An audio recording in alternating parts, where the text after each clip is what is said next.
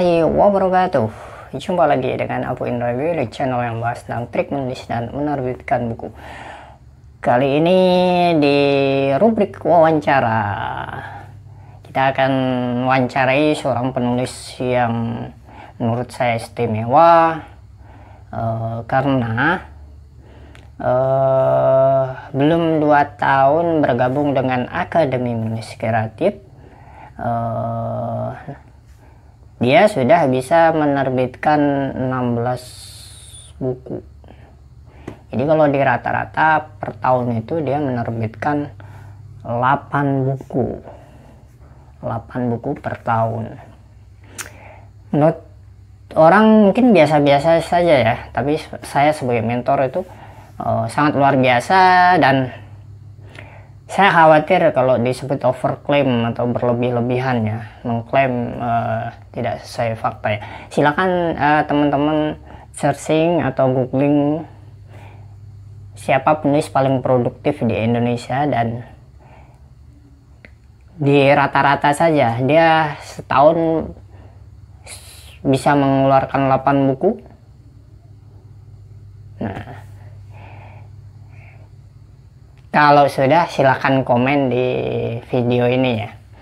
Nah, menurut saya beliau murid saya ini namanya Umu Aisyah. Beliau juga seorang guru, beliau juga uh, ibu rumah tangga. Uh, dia juga pembelajar yang rajin. Capaian uh, eh, 16 buku dalam kurun 2 tahun itu menurut saya tidak mudah juga dan capaian yang istimewa. Nah kita klik ya bareng-bareng ya. Beliau tuh gabung di pendahuluan.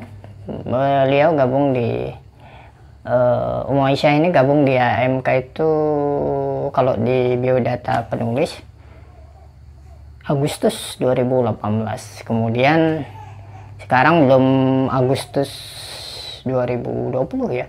Berarti belum ada dua tahun. Nah, yang pertama kita tanyakan kepada Umu Aisyah, ah, bagaimana ceritanya bisa bergabung dengan Akademi Menulis Kreatif?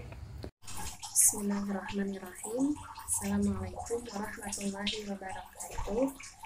Nah, sebelumnya saya ucapkan terima kasih kepada Cipu aku yang sudah memberikan kesempatan kepada saya untuk menyampaikan eh, bagaimana caranya atau awalnya bergabung dengan AMK. Nah, sebetulnya eh, sejak kecil saya memang hobi menulis, walaupun tulisannya tentu baru sebatas tulisan biasa ya, yang eh, tidak tidak berbobot tentunya. Nah, setelah eh, dewasa gitu ya bahkan yang seperti sekarang ini di usia yang sudah tentu tidak muda lagi ya eh, bergabung di salah satu jemaah dakwah yang di mana eh, di jemaah dakwah tersebut ada eh, cara dakwah selain dakwah lisan yaitu dengan dakwah melalui tulisan.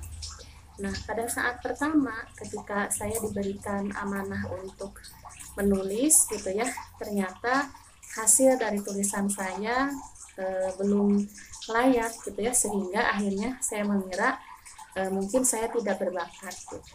Nah, ketika saya bercerita kepada teman e, dan teman mengatakan bukan tidak berbakat gitu ya. Yang namanya menulis kalau misalkan kita ingin bisa tentu harus belajar. Nah, dari situ saya penasaran bagaimana e, belajarnya gitu sampai saya bisa menulis dan teman mengatakan dan beliau sudah dari uh, udah udah lebih dulu masuk ke AMK beliau mengatakan yuk kita gabung di AMK saja kata beliau.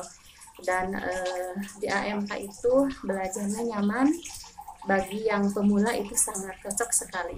Itu pertama kali jadi saya dibawa oleh teman. Oke. Okay. Yang kedua, Aisyah, uh, selama di AMK, dua tahun di AMK dan menerbitkan 16 buku, apakah uh, di AMK itu dipungut bayaran? Apakah ada uang pendaftaran atau uang SPP? Uh, eh, baik, selama saya belajar di AMK, sama sekali dari AMK itu uh, tidak pernah diminta biaya uh, belajar gitu ya. Jadi benar-benar masuk ke AMK itu mendapatkan ilmu dan Ciku mengatakan gratis seumur hidup sama sekali tidak pernah diminta uh, biaya untuk belajar. Padahal di kelas lain untuk belajar menulis itu yang pernah saya baca itu masya Allah mahal sekali. Tetapi uh, dengan senang hati Ciku aku membagikan ilmunya kepada kami gitu ya tanpa diminta biaya sedikit pun. Syukran Ciku semoga berkah bagi Ciku dan juga bagi keluarga Ciku sendiri oke yang ketiga Bagaimana caranya Om Aisyah membagi waktu antara mengajar di sekolah, menjadi ibu rumah tangga, kemudian dengan aktivitas saya yakin banyak yang dikerjakan, bagaimana bisa membagi waktunya antara menulis dengan mengerjakan aktivitas lain. Apakah ada program khusus atau membuat target-target? Untuk membagi waktu saya um, untuk menulis ya Tentu tidak mudah karena aktivitas saya juga sangat padat.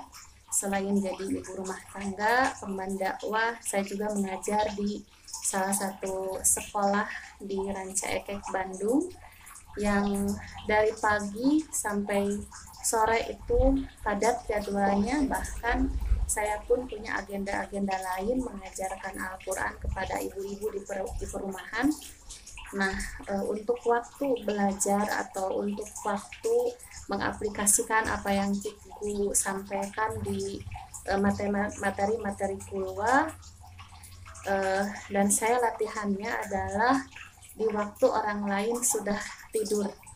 Nah, orang lain sudah tidur, saya masih belajar menulis. Atau kalau sudah sangat lelah, ngantuk ya, saya memilih waktu dibangun tidur. Orang lain belum bangun uh, saya sudah bangun untuk belajar. Nah kita sebagai umat Islam juga mempunyai kebiasaan yang sebetulnya sudah uh, hal yang lumrah yang dilakukan. Ketika orang lain sedang tidur kita mendekat kepada Allah di, di saat orang lain belum bangun kita melakukan sholat tahajud. Nah kebiasaan tersebut uh, saya mengambil waktu sebagian selain dari itu untuk belajar menulis gitu ya.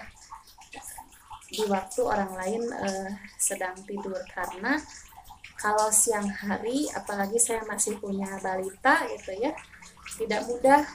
Itu juga kalau anak tidur sementara ketika siang hari anak tidur itu uh, pekerjaan rumah juga menanti akhirnya saya memilih di malam hari Pertanyaan keempat. Nah, Om apa pesan untuk para penulis muda atau calon penulis yang menonton video ini? Barangkali ada yang pengen jadi penulis tapi belum berani mencoba atau belum berani belajar. Uh, apa sarannya juga untuk generasi milenial sekarang ya?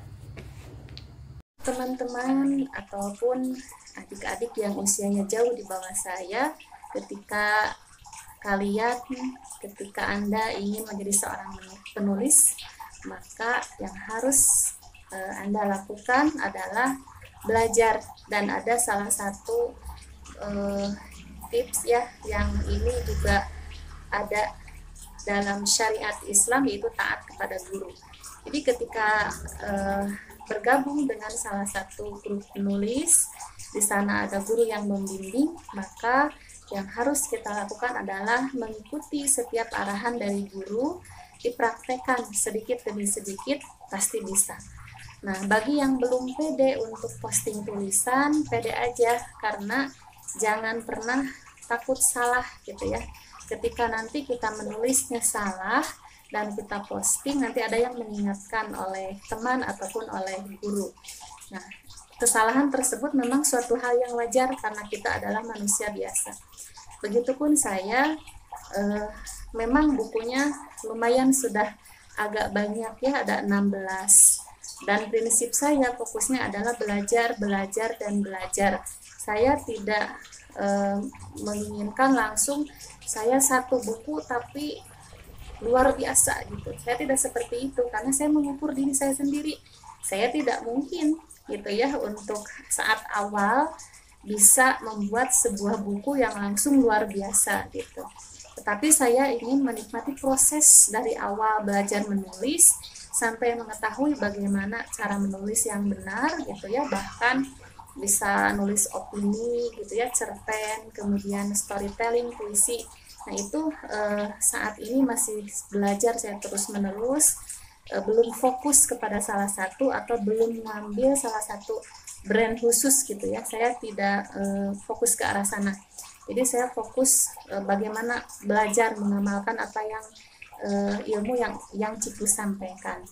Nah, jadi jangan malu dan jangan merasa uh, duh saya belum bisa menulis tulisannya belum bagus.